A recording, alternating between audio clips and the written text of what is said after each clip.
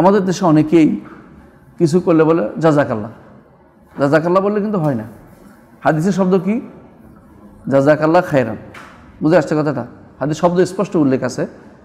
ফকালে ফাইলি জাজাকাল্লাহ খায়রান। খায়রান বলতে হবে। খায়রান বলতে হবে কারণ হাদিস শব্দ হয় না। আপনাদের যে কোনো শব্দ আমি যদি সোবাহান রব্বি আলা আলা না বলি, সোবাহান রাব্বির বলি থু থেকে হবে না? আলা বলতে হবে। তো এই জন্য হাদিসের শব্দকে ফুল রাখতে হবে আমাকে।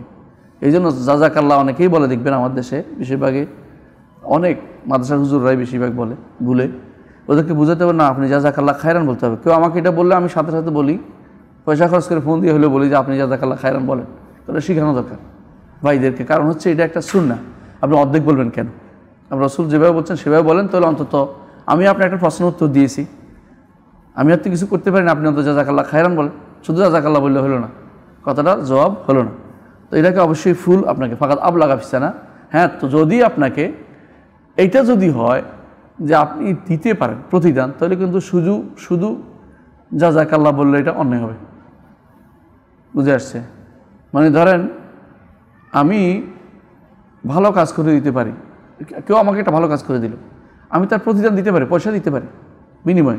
শুধু যা জাজাকাল্লা খাইতে চালাই দিলাম, এটা কিন্তু ঠিক হবে না। এটা হলো একটা মূর্খদের কাজ। এটা একটা ভালো কাজ হয় না।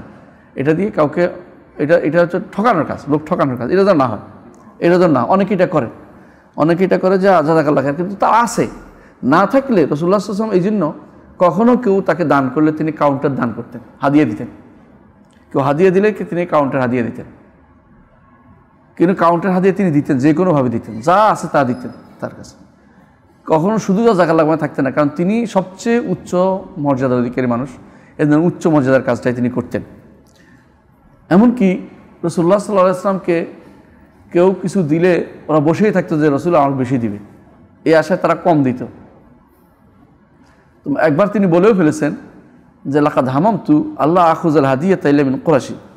আমার ইচ্ছা হয় শুধু কোরাশি ছাড়া কারও থেকে হাদিয়া নিব না। কেন বলছে জানেন তো? কারণ কেউ কেউ হাদিয়া নিয়ে আসা অল্প, কিন্তু চায় যে রসুলের বিপরীতে এক উঁটের বোঝাই করে দিবে রসুলকে, ওনাকে।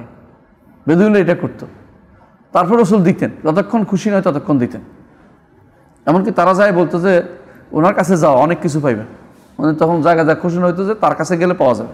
রসুল আসলাম আদর্শ ছিল এটা, আলহামদুলিল্লাহ। তিনি যে উম্মতের জন্য আদর্শ, সারা মুসলিম মানুষের বিশ্বের সবার জন্য আদর্শ তিনি।